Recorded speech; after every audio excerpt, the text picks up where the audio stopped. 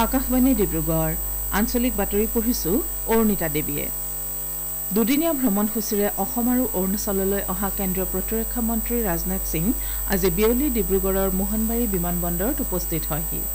ইয়াৰ পিছত তেওঁ হেলিকপ্টাৰেৰে দিনজানৰ সেনাবাহিনীৰ দুই নম্বৰ মাউণ্টেইন ডিভিজনৰ ছাউনীলৈ গৈ দিনজান সেনা ছাউনীত দুই নম্বৰ মাউণ্টেইন ডিভিজনৰ বিষয়া তথা সেনা জোৱানসকলৰ সৈতে বাৰ্তালাপ কৰে। কেন্দ্ৰীয় মন্ত্ৰীগৰাকীয়ে আজি নিশা সেনা ছাউনীত একত্ৰৰ পাছত কাইলৈ পুৱা অৰুণাচল প্ৰদেশত দিবান ভেলীৰ আনিনী আৰু আন্দ্ৰা লাও উমকাৰলৈ ৰাওনা হ'ব। বিয়লি তেওঁ মোহনবাৰী বিমানবন্দৰত উপস্থিত হৈ নতুন দিল্লীলৈ উভতি যাব।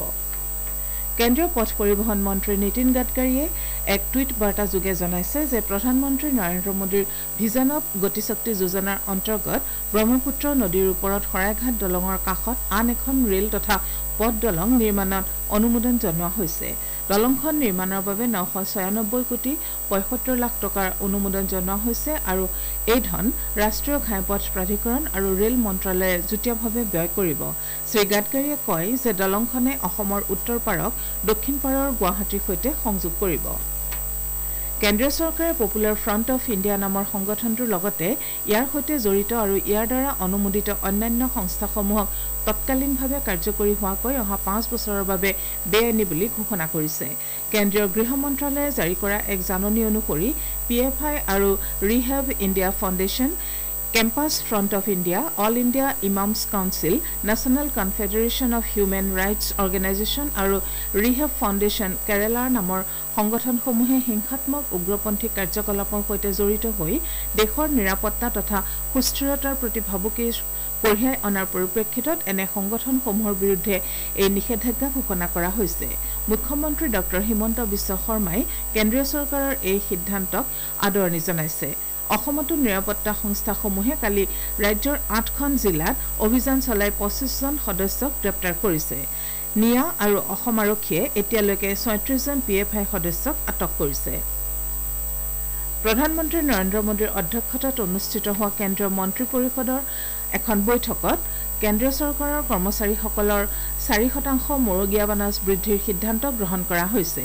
কেন্দ্ৰীয় তথ্য আৰু সম্প্ৰচাৰ মন্ত্ৰী অনুৰাগ ঠাকুৰে এই বিষয়ে মন্তব্য কৰি কয় যে ইয়াৰ ফলত চৰকাৰী চাকৰিয়ালসকলৰ লগতে পেঞ্চনাৰসকলো উপকৃত হ'ব।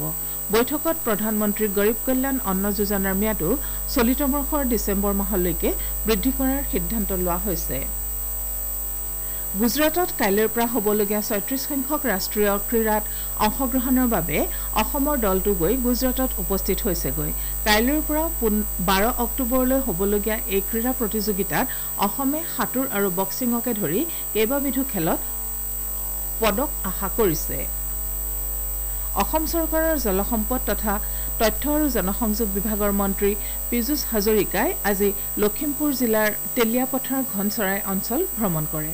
অঞ্চলটোত উপস্থিত হৈ মন্ত্ৰীগৰাকীয়ে সোৱণশিৰি নদীৰ খহনীয়াই ভীমপৰা ন আলি মথাউৰিৰ ক্ষতি কৰা অঞ্চল পৰিদৰ্শন কৰি বিভাগীয়ভাৱে কৰি থকা কামৰ বুজ লয়।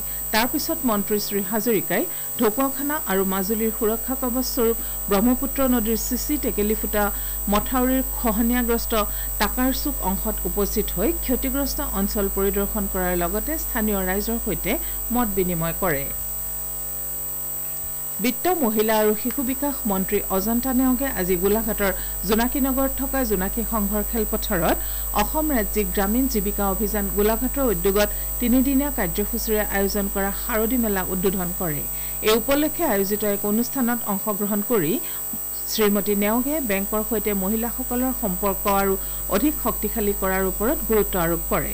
ইয়াৰ পূৰ্বে মন্ত্ৰীগৰাকীয়ে আজি মীন বিভাগৰ জৰিয়তে দুজন মীন পালকলৈ দুখন পোন্ধৰ লাখ টকীয়া বাহন আনুষ্ঠানিকভাৱে আগবঢ়ায়। মীন পালনৰ জৰিয়তে এই দুয়োজন যুৱকে বছৰি পাঁচ লাখৰ পৰা দহ লাখ টকালৈ উপাৰ্জন কৰিবলৈ সক্ষম হৈছে বুলি জানিব পাৰি মন্ত্ৰীগৰাকীয়ে সন্তুষ্টি প্ৰকাশ কৰে। দুহেজাৰ বাইছ বৰ্ষৰ ৰাষ্ট্ৰীয় ক্ৰীড়া পুৰস্কাৰৰ বাবে আবেদন জনোৱাৰ অন্তিম তাৰিখ অহা এক অক্টোবৰলৈ বৃদ্ধি কৰা হৈছে। পূৰ্বে আবেদনৰ অন্তিম তিথি সাতাইছ ছেপ্টেম্বৰ নিৰ্ধাৰিত কৰিছিল। উল্লেখযোগ্য যে ৰাষ্ট্ৰীয় ক্ৰীড়া পুৰস্কাৰ অধীনৰ মেজৰ ধ্যানচান্দ খেলৰত্ন পুৰস্কাৰ অৰ্জুন পুৰস্কাৰ দ্ৰোণাচাৰ্য পুৰস্কাৰ ধ্যানচান্দ পুৰস্কাৰ ৰাষ্ট্ৰীয় খেল প্ৰোৎসাহন পুৰস্কাৰ আৰু মুন্নালাল আবুল কালাম আজাদ ট্ৰফিৰ বাবে কেন্দ্ৰীয় যুৱ পৰিক্ৰমা আৰু ক্ৰীড়া মন্ত্ৰালয়ে যোৱা সাতাইছ আগষ্ট তাৰিখে উপযুক্ত প্ৰাৰ্থীৰ পৰা আবেদন পত্ৰ আহ্বান কৰিছিল। উপযুক্ত ক্ৰীড়াবিদ প্ৰশিক্ষক তথা বিশ্ববিদ্যালয়ক প্ৰদান কৰা এই পুৰস্কাৰসমূহৰ বাবে D B T Y A S slash sports dot G O' V dot in যোগে অহা এক অক্টোবৰৰ ভিতৰত আবেদন কৰিব পাৰিব। আজিৰ আঞ্চলিক বাতৰি ইমানেই।